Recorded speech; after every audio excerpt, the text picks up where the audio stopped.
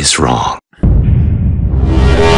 Muslims of the 21st century, they have taken people like Tupac, people like Biggie, people like Dr. Dre, people like Snoop Dogg, people like 50 Cent, people like Busta Rhymes as role models.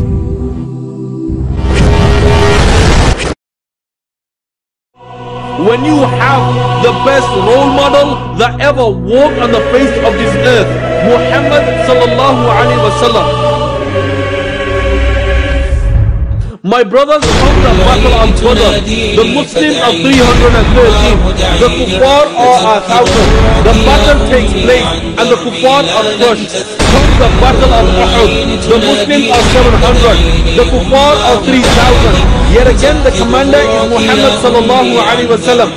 The battle takes place and the kuffar are crushed.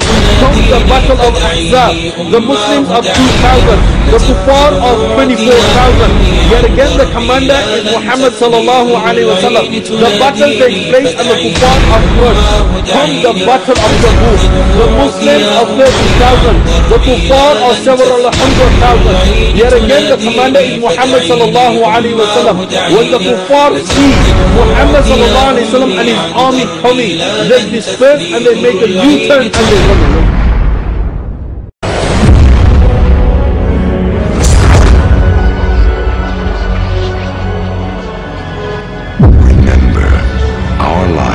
always ruled with wisdom and strength. This is the role model that the whole world should be following. Muhammad sallallahu alayhi wa sallam.